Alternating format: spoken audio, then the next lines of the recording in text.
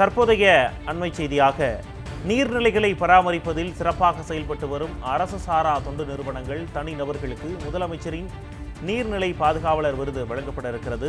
ஒரு மாவட்டத்திற்கு ஒருவர் வீதம் முப்பத்தி எட்டு மாவட்டத்திற்கு முப்பத்தி எட்டு பேருக்கு முதலமைச்சரின் நீர்நிலை பாதுகாவலர் விருது வழங்க அரசாணை வெளியிடப்பட்டிருக்கிறது. அது குறித்து அண்மை செய்தியை தற்போது பார்த்து கொண்டு வருகிறோம்.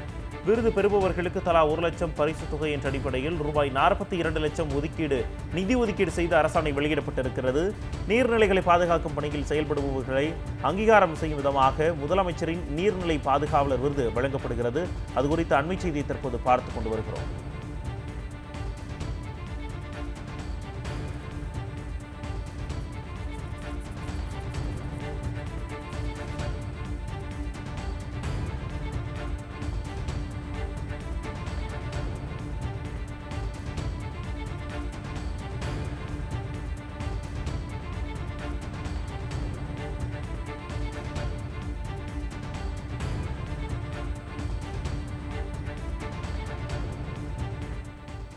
நீர்நிலைகளை பராமரிப்பதில் சிறப்பாக செயல்பட்டு வரும் அரசு சாரா தொண்டு நிறுவனங்கள் தனிநபர்களுக்கு முதலமைச்சரின் நீர்நிலை பாதுகாவலர் விருது வழங்கப்பட இருக்கிறது.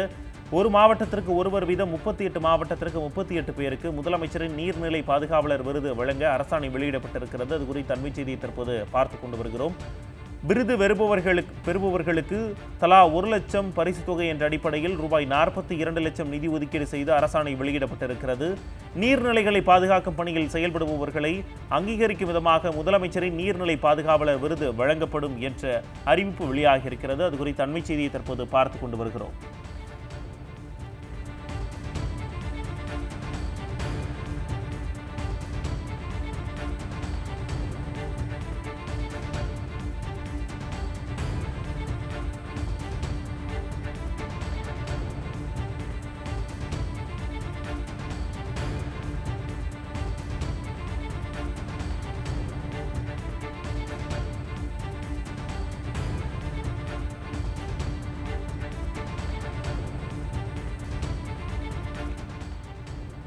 நீர்நிலைகளை பராமரிப்பதில் சிறப்பாக செயல்படும் அரசு சாரா தொண்டு நிறுவனங்கள் தனிநபர்களுக்கு முதலமைச்சரின் நீர்நிலை பாதுகாவலர் விருது வழங்கப்பட இருக்கிறது. ஒரு மாவட்டத்திற்கு ஒருவர் வீதம் முப்பத்தி எட்டு மாவட்டத்திற்கு முப்பத்தி எட்டு பேருக்கு முதலமைச்சரின் நீர்நிலை பாதுகாவலர் விருது வழங்க அரசாணை வெளியிடப்பட்டிருக்கிறது. விருது பெறுபவர்களுக்கு தலா ஒரு லட்சம் பரிசு தொகை என்ற அடிப்படையில் ரூபாய் நாற்பத்தி இரண்டு லட்சம் நிதி ஒதுக்கீடு செய்து அரசாணை வெளியிடப்பட்டிருக்கிறது.